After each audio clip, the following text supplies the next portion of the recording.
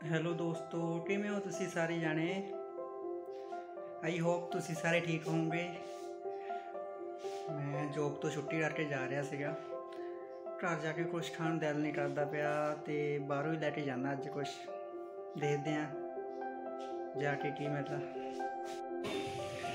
ਲਓ ਜੀ, ਹੁਣ ਅਸੀਂ ਆਪਣੇ ਘਰ ਨੂੰ ਜਿੰਦੇ ਜਿੰਦੇ ਲਾਤੇ ਆ, ਠੀਕ ਆ ਜੀ। ਤੇ ਅਸੀਂ ਆਪਣਾ ਬੈਗ ਨੂੰ ਪਾ ਲਿਆ ਆ ਚਾਰਜਰ ਮੈਂ ਚੱਕ ਲਿਆ ਪਰ ਭੁੱਲੀ ਨਾ ਆਪਣਾ ਫੋਨ ਤੇ ਫੋਨ ਫਾਨ ਅਸੀਂ ਸਾਰਾ ਕੁਝ ਪੇਮੈਂਟ ਭਾਈ ਨੂੰ ਮੈਂ ਦੇ ਦਿੱਤੀ ਆ।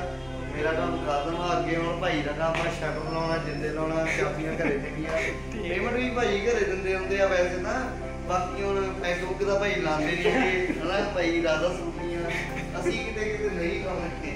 ਚਲੋ ਠੀਕ ਹੈ ਜੀ ਓਕੇ ਬਾਏ ਬਾਏ ਲੋ ਜੀ ਮੈਂ ਪਹੁੰਚ ਗਿਆ ਬਟਾਟਾ ਪੁਰੀ ਲੈਣ। ਸਾਡੇ ਸ਼ਹਿਰ ਦੀ ਮਸ਼ਹੂਰ ਬਟਾਟਾ ਪੁਰੀ ਬੜੀ ਟੇਸਟੀ ਹੁੰਦੀ ਆ, ਬਹੁਤ ਸਵਾਦ ਆ ਜੀ। ਬਹੁਤ ਬਹੁਤ ਸਵਾਦ ਆ। ਤੁਸੀਂ ਜ਼ਰੂਰ ਆਇਓ। ਆ ਜੇ ਆਉਂਗੇ ਫਗਵਾੜੇ ਚ, ਜ਼ਰੂਰ ਆਇਓ। ਸਾਡੇ ਮਸ਼ਹੂਰ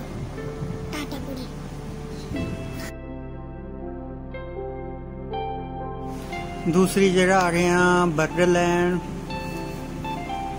ਇਹ ਵੀ ਬੜੇ ਵਧੀਆ ਸਵਾਦ ਹੁੰਦੇ ਆ।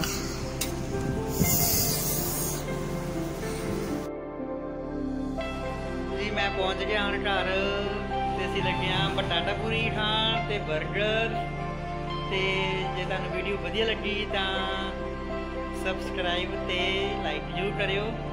ਤੂੰ ਵੀ ਕਹਦੇ